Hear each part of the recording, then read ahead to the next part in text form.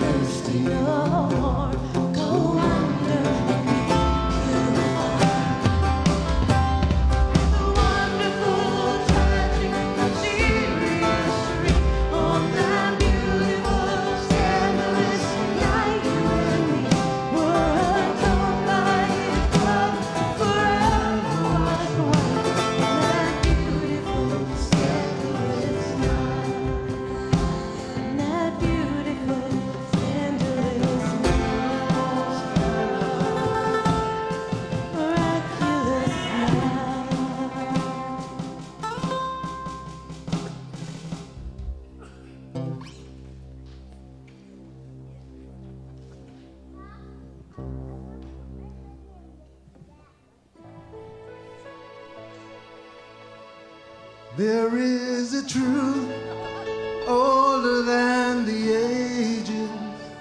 There is a promise of things yet to come. There is one born for our salvation, Jesus. There is a light that overwhelms the darkness. There is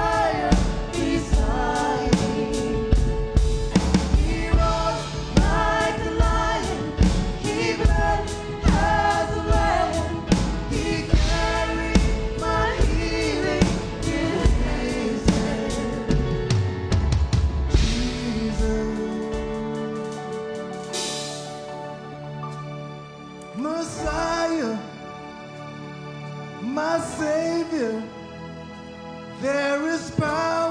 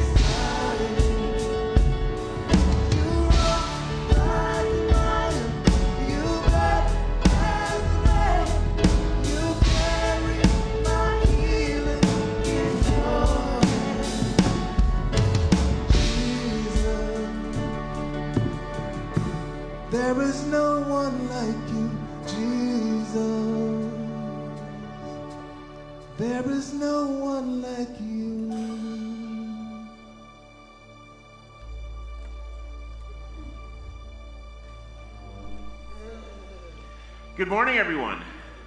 I invite you to take your seats, uh, share a little bit of welcome with you. Uh, my name is Mike. I'm one of the pastors here at Faith Journey, and I want to welcome you all. If this is your first time, or if this has if many times you've been here, we are certainly glad that you are worshiping with us today. Um, if you are uh, willing, we'd like to have you let us know that you were here by filling out the tear off on page three of your worship bulletin. You can give that to one of the ushers or put it in the offering plate uh, when it comes by. That's simply a way that we, were know, we know you were here with us.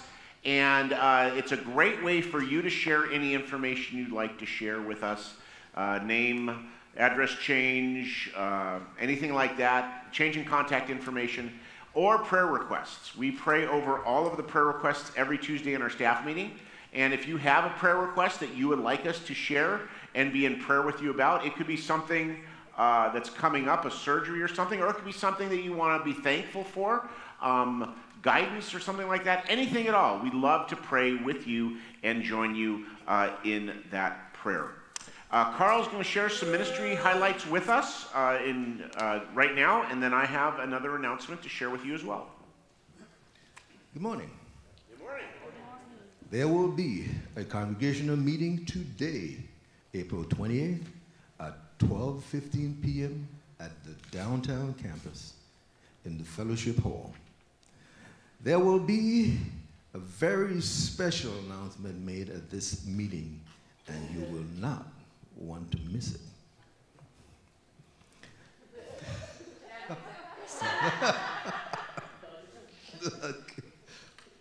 Confirmation Sunday is next Sunday, May 5th,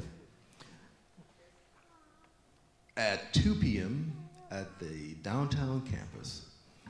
Come support those youth, those young men and women as they affirm the promises of their baptism. The Community Impact Team Fostering Hope Drive begins today. Suggested bathroom items include towels, bath towels, hand towels, washcloths, shower curtains with rings, bath mats and rugs, shower organizers, trash cans, plungers, toilet brushes, toilet paper, soap dispenser, toothbrush holders, hampers, and storage boxes. Yeah. Items can be brought to either campuses and put in the drop off boxes. Collection dates are April 20th through May 19th. Those are our highlights for today. You can also always check, check out the video screens for the announcement videos and the website for all of the happenings here at Faith Journey. You're the first person that I heard get applause for, for announcements. Uh, this time I'm going to invite Annette Kreff forward. Uh, you saw on our announcements uh, this uh, uh, collection of bathroom items, and that is a very special emphasis uh, that our community impact team, which was formerly known as social ministry, is sponsoring. And so Annette's going to introduce a guest to us who's going to tell us a little bit about PATH and about what they are doing with all of these cool bathroom items that they will be collecting.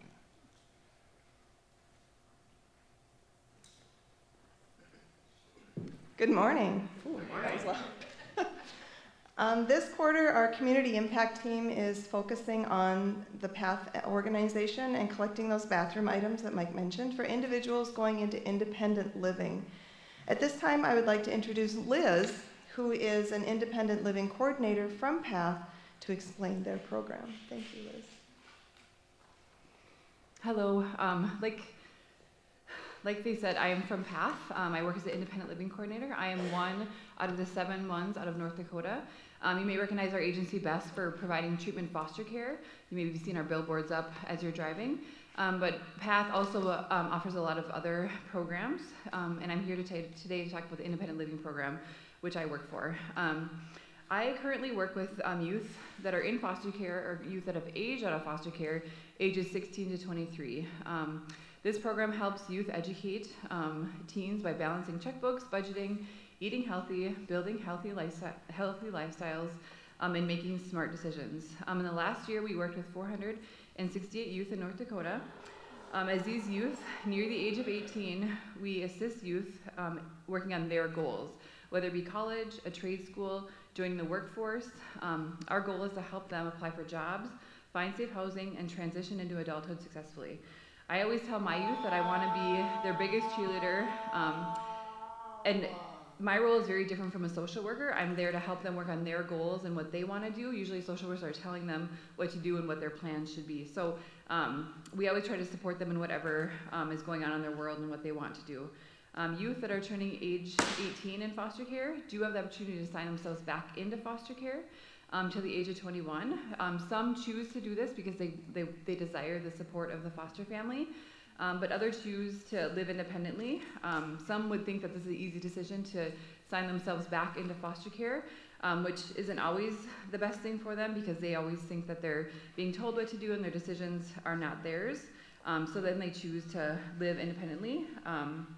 And then we as coordinators um, try to give them as much support as we can. Um, if I could describe, describe our teens and young adults in one word, I would use the word resilient. These youth enter foster care at no fault of their own, bringing in the effect of traumatic experiences with them. They come from a home with domestic violence, drug abuse, um, unrelated mental illnesses, physical, emotional abuse, or neglect.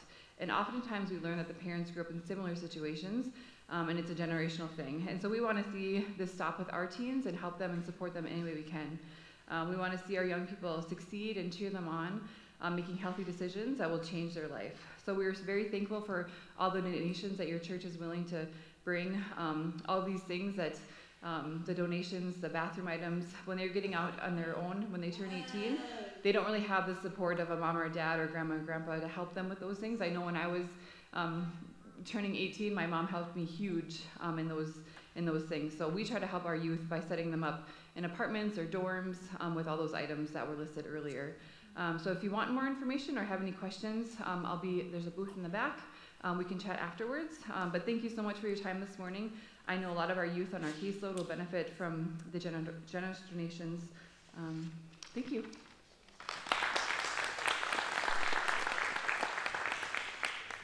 Now, everyone knows that the Sunday after Easter is, uh, stay here. Everyone knows that the Sunday after Easter is always low attendance Sunday, and that had nothing to do with inviting Path here with us today. But here's what we have to do we have to seek out those folks that we know usually attend, and we have to share this with them because they're going to show up next week and just see a display and not know what we're doing or why we're doing it or how important it is. And uh, I remember when I went off to graduate school, the first time I was really going to live on my own, I remember how thankful I was I had a mom and dad who could say, now you got to remember to buy toilet paper. You got to remember to have these kinds of things.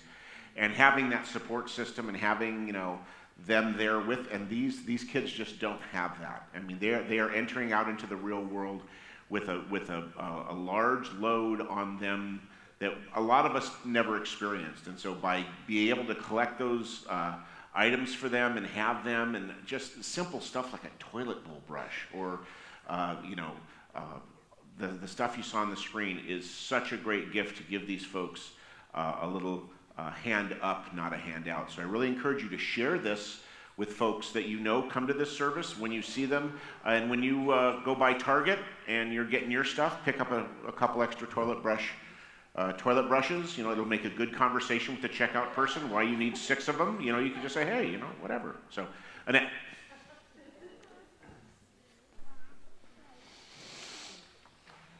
Can I also plug that Kohl's is having their big like house stuff sale this week? So you can get towels for $2.99, just saying. All right. Our collection for these items will run today through May 19th. Um, we thought that would be a good time to end so we can get some of these items out to these kids as they start to graduate and move on. We have the whole list of items which we are collecting at the table in the narthex, which is also the drop off area. We'll have boxes out there indicated for that. If you wish to donate money instead, um, please indicate on your check memo or on the envelope community impact to make sure it goes to that particular project. If you have any questions, uh, we'll also be out in the narthex after the service today. Thank you so much, and we appreciate everything you do. We'd like to just ask if there are any other announcements. Uh, Kim? There's a sign up for the Fargo Marathon. We are trying to get 50 individuals to work the first leg of the marathon at 6:45 a.m. and it's only a few hours where you direct traffic. And because we're the first leg, there's not a lot of traffic to direct, so you just got to stand there and watch the runners run by. And here's what you need to do. Yay! And it's to the benefit three organizations which are near and dear to Eric's heart. Um, tuberous Sclerosis Alliance, which everyone probably knows Eric has tuberous sclerosis. The other is the Asperger um, Foundation here in Fargo and Autism Foundation.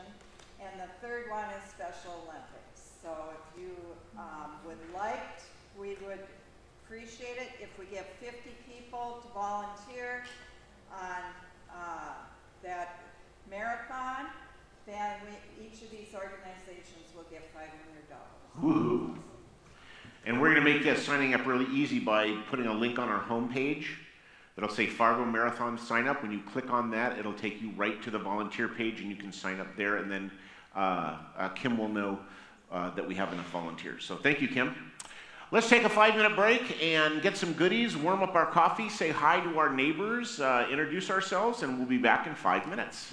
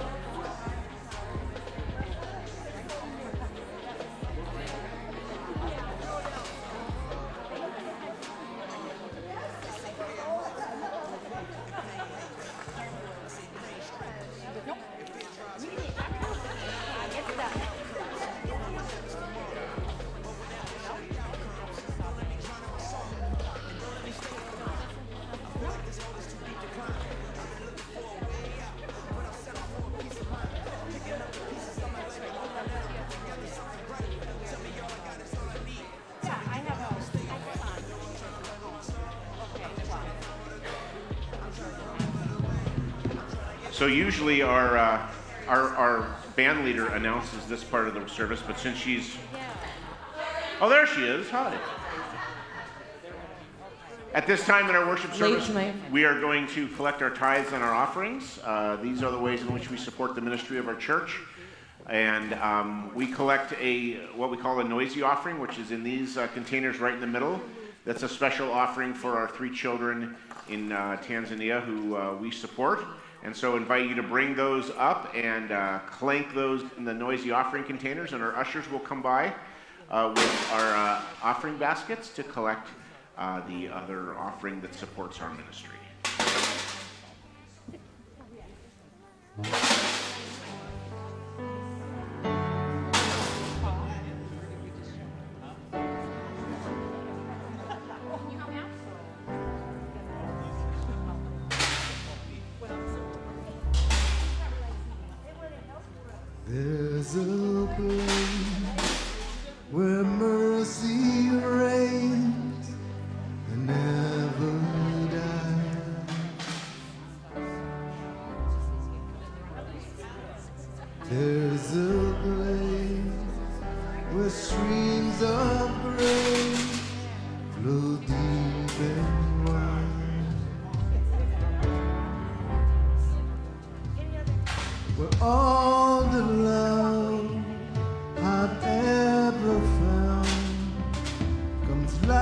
A flood, comes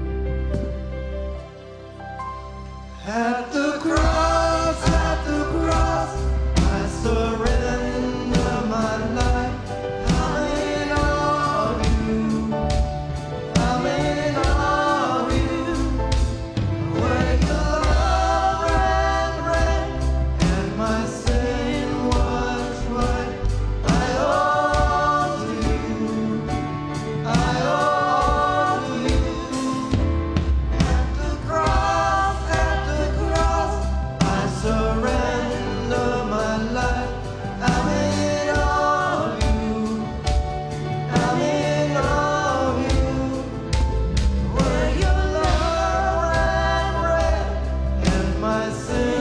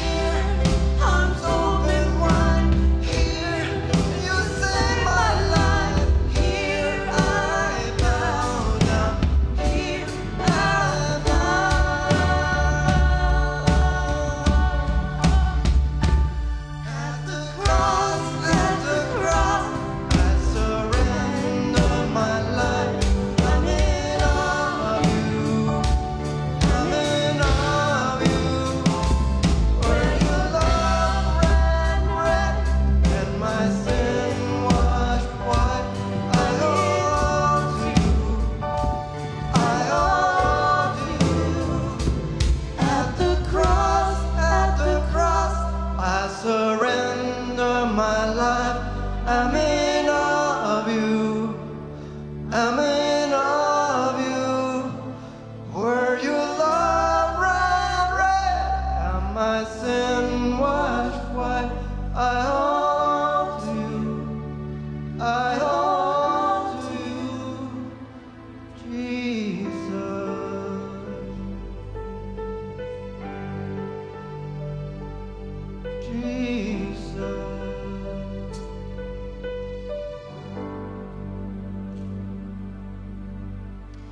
Lord, we want to thank you for all the gifts, time, and talent that people bring to this space. As we celebrate after the wonderful time of Easter, that we live together free because of the sacrifice you made on the cross. In your name we pray.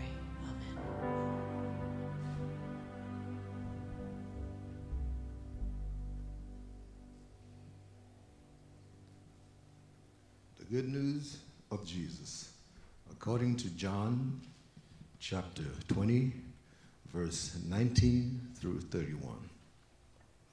If you would like to follow along, you may do so by turning to page 3833.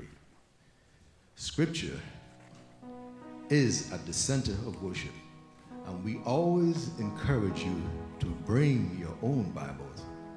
Mark it up, take notes in it. If you don't have one of your own, please take one of ours as our gift to you.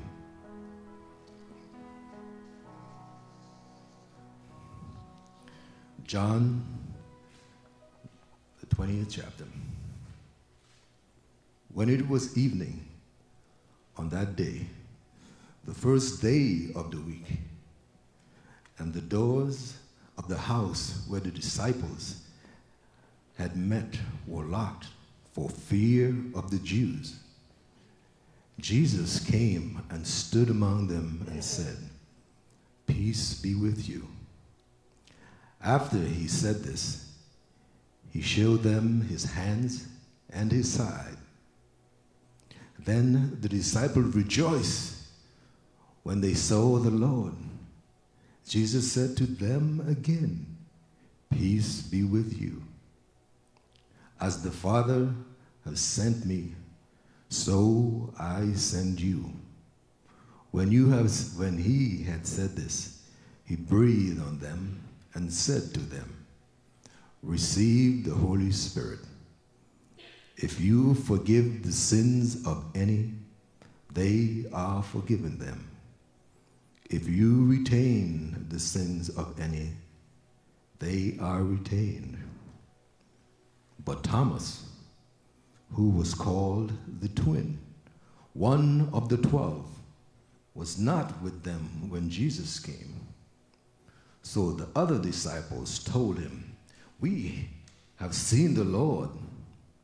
But he said to them, Unless I see the mark of the nails in his in of the nails in his hands, and put my finger in the marks of the nails, and my hand is in his side, I I will not believe.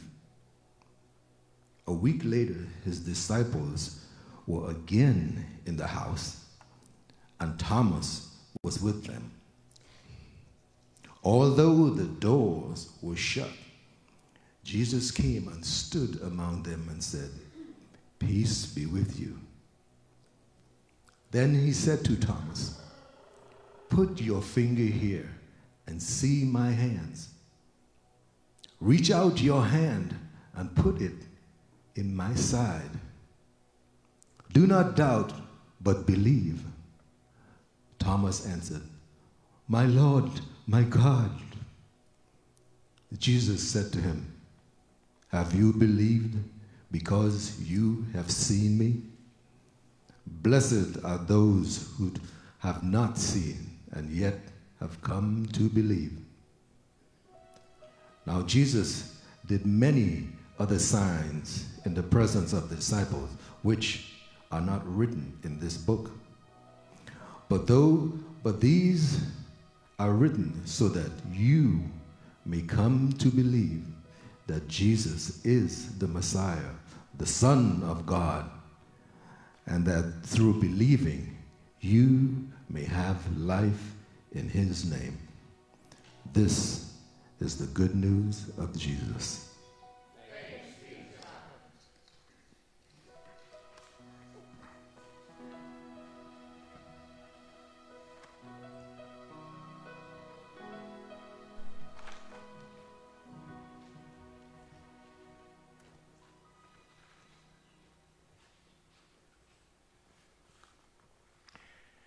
It's always kind of disappointing the Sunday after Easter that this particular text gets assigned. Now, obviously, it fits in the timeline. You know, Jesus is. Uh, um, it's, the, it's, it's, the, it's later that day on Resurrection Sunday, so it fits the timeline that this text should happen. But as I said before, today is always considered in the church low attendance Sunday. People kind of get their two week dose of church on Easter Sunday and they kind of take this one off. And so, relatively little is known about this particular story. Um, of course, we know about Thomas, and we know that even though in the Bible he's called Thomas the twin, we have renamed him Doubting Thomas because he's the only one who has the guts to say, wait a minute, I'm not so sure about this. Um, Thomas is really more of a brave person because he was out and about on Sunday. Who knows what he was doing? He may have been getting food, he may have been doing anything else, and we're told that the other disciples are locked in this room because they're afraid. They're afraid they're going to be identified as followers of Jesus. Of course, the story says they're afraid of the Jews. I think they were afraid of everybody. I don't think it was just limited to the Jewish folk. I think they were very afraid of the Romans. Remember, Jesus was killed by the Roman government because one of the things he was doing was he was inciting insurrection. He was claiming to be the king, and Rome doesn't like that. Rome wants peace. Rome wants quiet. Rome wants you to pay your taxes and keep your mouth shut and just go on with your daily business and don't raise a ruckus. And of course, Jesus was raising a ruckus. And so he got crucified for that. And anyone who is a follower of his would meet a, a, similar fate. But Thomas is out and about. Thomas is doing whatever he needed to do, uh, getting food, do, doing the normal routine.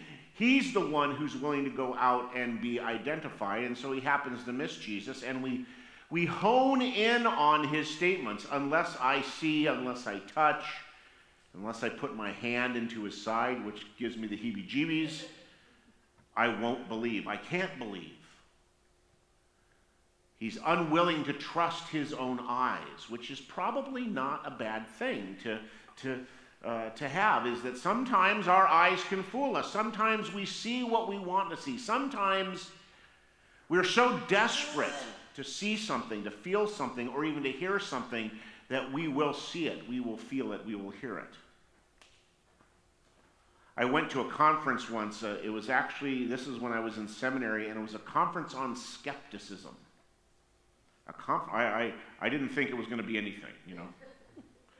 But it was part of one of our classes we had to take, and it was a, it was a conference led by this person who made their living debunking things. So, you know how sometimes people see the Virgin Mary in a tortilla chip, or Jesus appears in a piece of toast, or somebody has a miraculous whatever, and this person would then go in and kind of see if there's any other cause or any other way that that could be explained other than divine intervention. And, and many times this person discovered, uh, yes, in fact, uh, that is not Jesus showing up in a pane of glass, but it's because there's a sprinkler there.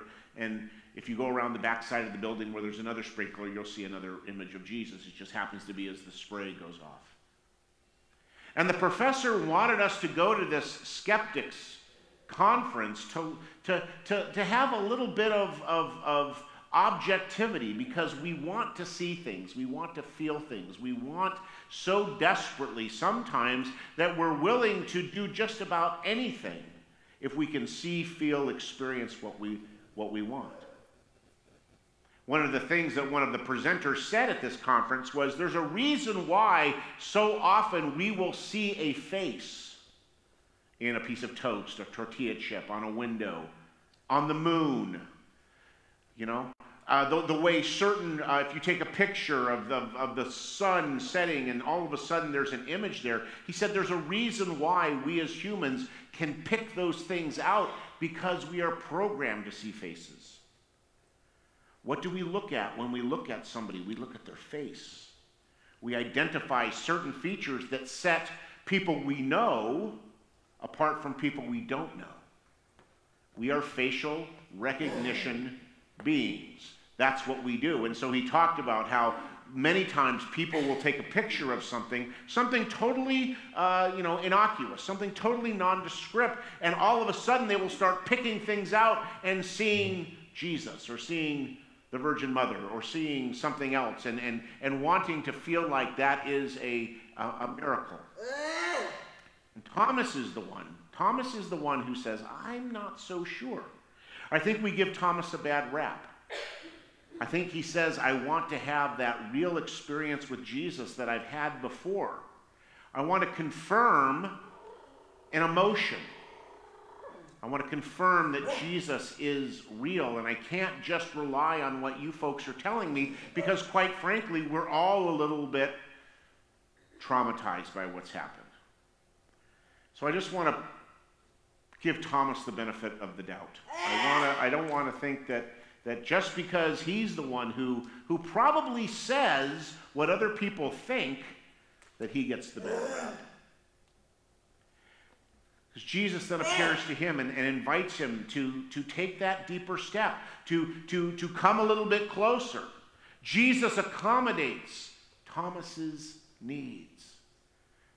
He doesn't chastise him. He doesn't cast him out of the group for his unbelief or his doubting. But he invites him to step even closer. He invites him into a deeper relationship. He's the only one that we know of that gets to touch Jesus. He's the only one who's invited forward and says, Here, put your finger there. See that it's real. The other 10 don't get to do that. Only Thomas gets that real intimate experience with Jesus in that way. In the midst of his doubt, or in the midst of his questioning, or in the midst of his speculation, his skepticism, whatever you want to call it, Jesus appears to him, appears to him and invites him closer. It seems to me that this is an indicator, or at least uh, uh, uh, uh, it gives us permission to be a little bit skeptical sometimes, to have doubts. Doubt is not the antithesis of faith. Doubt is not the other is not the opposite pole of faith. I believe doubt is part of faith. Doubt is part of the faith process. It's okay for us to ask questions. It's okay for us to be just a little bit skeptical. It's okay for us not to trust our own emotional feelings. It's okay for us because in that, Jesus, God, is inviting us closer. Bring your questions, says God. Bring your doubts, bring your skepticism, bring them to me, bring them to the altar, just in the very same way that we bring every other aspect of our life to God. We don't have to hide that part. We don't have to hide anything from God. We can bring everything. That's the kind of overwhelmingly open relationship that God wants to have with us. It is so unlike anything else that we ever have experienced in our lives. You know, Jesus says to the disciples, Peace be with you. My peace I give to you. And Jesus says other places that he doesn't give peace the way the world gives it, that his peace is different, his love is different. Because in the world, and that by the world I mean outside of this realm of faith and, and, and community that we exist in, when we're out dealing in the, in the world of, of traffic lights and car crashes and um, horrible attacks on worshiping communities, there was just another one in Palo Alto. Uh, uh, some nut job went and shut up a synagogue, and uh, I think one person lost. I mean, in that world, in that in that real world we live in, you know, peace, love, all of the things that we share with one another at their very best are shared with a certain amount of conditionality. You know, there's a, there, there's a, there's a certain bit of, you know, uh, quid pro quo when we want to share uh, uh, love and acceptance and all those good things with one another. There's always something, something that we kind of expect back. You know, even when we give a gift, even when, you know, assume this is a wonderful gift and I give it to somebody and I say, this is a wonderful gift and, and this gift this gift represents, you know, our relationship and, and, and the, the love and affection I have for you. And I, and I, I saved for months and months and years to, to buy this very precious thing, and I give it to that person. And the minute I give it to that person, it's no longer mine, right? I'm releasing it. But how many times do we then, where's my gift that I gave you? What are you doing with it? Have you done what I want you to do with it? And so we're conditioned to have kind of this give and take relationship. Even, even, even at our best, we do that. And Jesus says, I don't give you what I have the way other people do. Whatever it is, peace is one of the words that sticks out in the verses that were read. He says it again and again My peace I give to you. Another word that sticks out for me in this, in this verse was the word life. The life that Jesus gives us is unlike the life we get from anyone else or anything else because it comes completely, it comes totally, it comes overwhelmingly, and it comes freely. One of the wonderful things about the Greek language, and also one of the most annoying things about the Greek language, is that they have many words for one thing. Kind of like in, in, in, the, in the native tongue of the Eskimo people, they have like 65 different words for the word snow. Because it depends on what kind of snow you're talking about, right? For us, English speakers, you're Northern Europeans, there's snow. And if it's not snow, it's something else. It's slush or whatever, right? Well, not so with the native speakers because they have an intimate relationship with snow, so they have many different words for it. Well, Greek was the same way. Um, we put modifiers in front of our words to, to tell us a little bit more about it. They just change the word. And so the word there that says life, when Jesus says, uh, when, when John says that Jesus came to believe and that you would have life, he's not talking about life, you know, heartbeat, thump, thump, breathing in, out, go to work, come home, eat dinner, go to bed, get up, eat breakfast, go to work. He's not talking about that kind of life. That word, and I, I I just can't pronounce it right. And I don't want to. This is being filmed, and I know that one of my seminary colleagues is going to see this and say, You didn't say that right. It's Z O E. Zoe. That's a very specific kind of life that is being talked about. It's not just any kind of life. It is eternal life. It is all encompassing life. It is the life that we can only get from a deep and intimate relationship with Jesus. And it comes to us and it comes unconditionally. You, you, hear that even though Jesus says to Thomas, you know, blessed, you know, you, you, you, uh, you believe because you saw. But I want to tell you, blessed are those who do not see and yet believe. Even though he says that, and that was kind of a sharp little jab, I think, at maybe Thomas, he still gives them all life. There's no conditionality. It isn't, well, Thomas, you didn't measure up. You didn't, you know, you didn't believe like the rest of your buds, so they get the life and you don't. It's just given. The empty cross, given. The empty tomb given. New life is given. Peace is given. Whether we're in a state of doubt and questioning or whether we are not, it's just given. And that's the one thing that we have that makes our faith community so awesome. And it's the one thing that people just can't get their heads around. One of the things that keeps people out of the church, the number one thing is the belief that Christians are judgmental. That's number one. The number two thing is that people believe Christians are uh, hypocritical And number three is people believe it's just too good to be true. There's got to be a there's got to be a catch.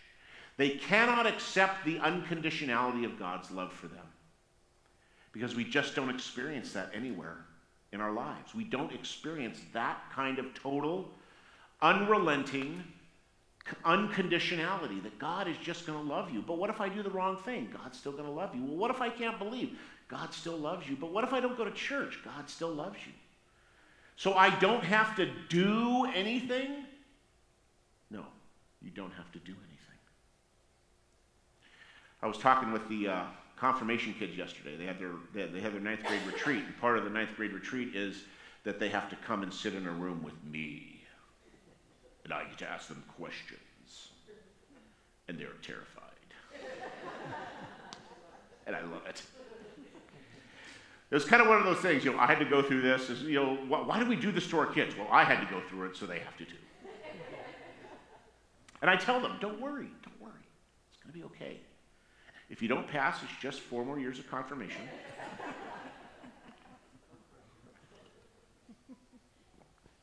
And one of the things we like to have them do is to be able to have some sort of working knowledge of those basic tenets of our faith, like the Apostles' Creed, like the Lord's Prayer, like the Ten Commandments. We like them to at least have some knowledge of, of what, what do we mean when we say a sacrament? What do we mean when we say that we are simultaneously saint and sinner? First, first Latin I ever learned in seminary. I mean, I think it was in the first week we learned in our theology class the Latin simul justus et peccator. Simultaneously saint and sinner. We are both at the same time. We are neither one or the other.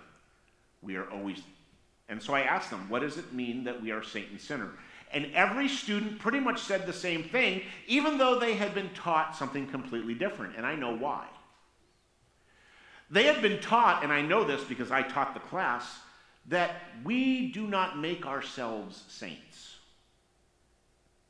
We don't strive for sainthood. It's not because of the things that we do that are right and good in the eyes of God that we are rewarded with this moniker saint. But every one of the students said, Well, when you do good stuff, you're a saint. And so I said, When you do bad stuff, you're a sinner. Right. So it all has to do with what you do. Yes. No. And I took the opportunity again to remind them that we are not, we don't make ourselves saints. We are made saints by God. God makes us a saint. Well, when does God do that, Pastor? On the cross. On the cross, God rewards all of creation with the title saint. Now, that doesn't undo that part of our lives where we still uh, are you know, thinking of ourselves and we're still con- our, our, relations are, our relationships are still conditional. That's the sinner part. The part of if I have a relationship with you, there is a part of me that keeps asking the question, What's in this for me? No matter what relationship it is. Pastoral relationship, I am your pastor. But still, I, on, on, on the 20th of every month, I want to see my paycheck go into my bank account, right? The relationship is still, there's a conditionality to it at its best. So there's nothing we can do that will make us a saint. Because at my best, I'm still broken. So God isn't going to require that I make myself a saint. God is just going to make me one. Boop, you're a saint. And we spend the rest of our lives struggling with that because we just can't accept that there's no strings attached. We can't accept that there's not a price to pay on the other end. We keep waiting for the other shoe to drop, and it never does. And there is no part, here's the, here's the really good news. There is no part of that sinner in us that can ever unmake our saintness, our saintliness, our sainthood. We can't unmake that. We can't negate it. We can't nullify it because what God makes is really out of our control. I don't have the power to undo what God has done. I can't unmake creation. I can't just snap my fingers like, you know, Thanos and make half creation disappear. It just doesn't happen that way. Why? Because God made it and it's God's property. That's why I don't believe in demon possession. This has nothing to do with anything. But how can, how can Satan possess something that belongs to God? God bought and paid for each, every, all of creation, all of it, on the cross. It is God's property. How can, how can Satan come up and take something that belongs to God? Can't be done. So that's why I don't believe in demon possession. Even though I like The Exorcist, it's a scary movie. So, the one thing I wanted the confirmation students to, to take away in our time together, and I stole it lock, stock, and barrel from Pastor Rich. I said, I always want you to remember that God will never love you less than God loves you right now, no matter what. Your sainthood has been bought and paid for, your sainthood has been declared by God. declared by God. And if we can bet the farm on anything, we can bet it on what God says. God said, Let there be light, there was light. God said, Let there be creation, there was creation. God said that Christ will come, Christ came. God said that the grave will not have the final word, the grave doesn't have the final word. God says to you today, You are a saint. You are blessed. You are part of the family, and there's nothing that you can do or anything else in all of creation can do that can nullify that reality. So the last thing I said to the confirmands is here's what I want. Here's my prayer. Here's my prayer for every person who ever goes through confirmation. Don't live your lives from this point forward trying to earn the title saint. Don't order your life trying to get God to call you a saint. But do everything you do in your life knowing that you are already a saint. Live your life because you're a saint, not trying to become one. Let's pray.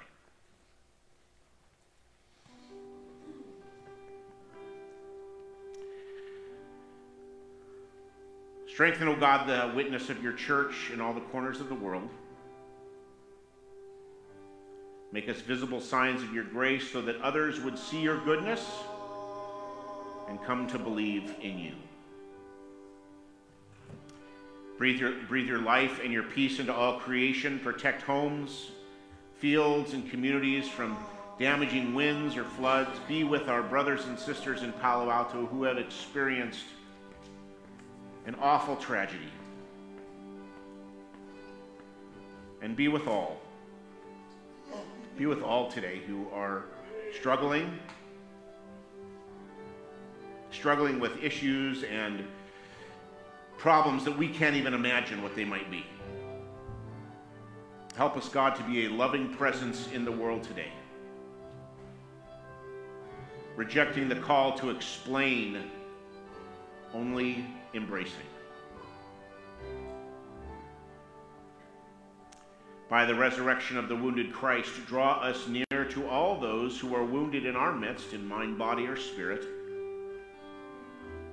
Liberate all who are bound by grief, abuse, addiction, or pain, and restore to faith those who are despairing.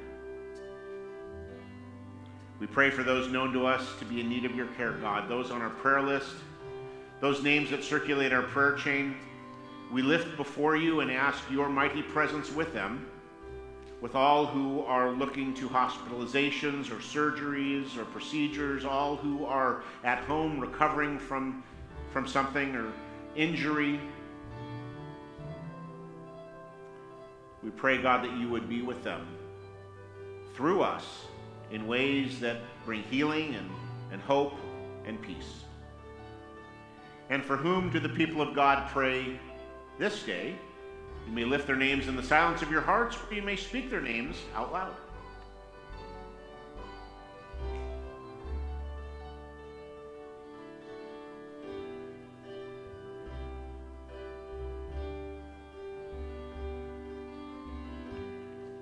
Protect and provide for all whom you send out in mission across the world.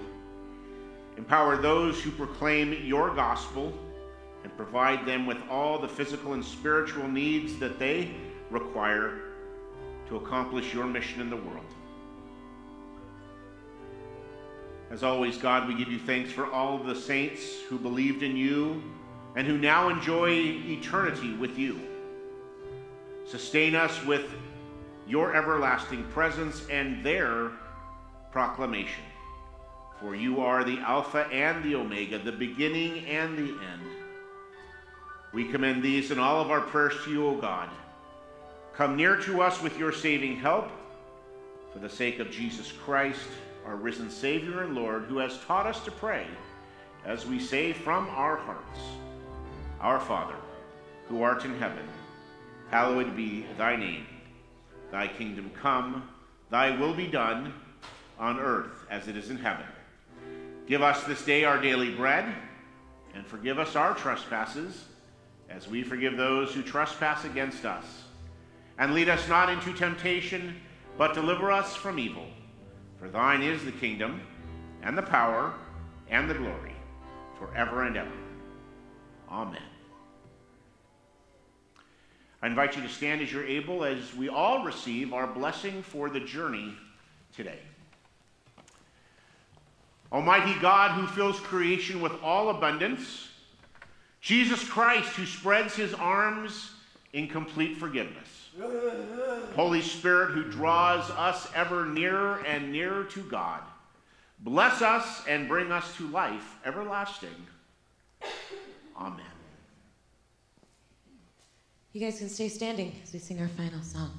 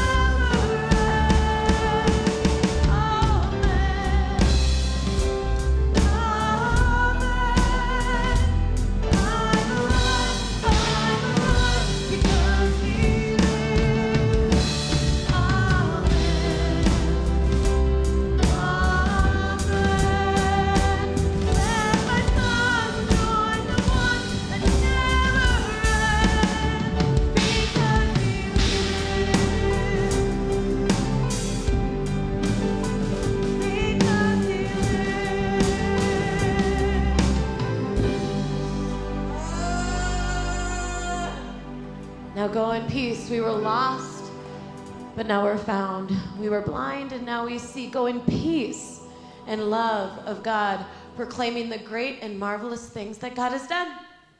Thanks be to God.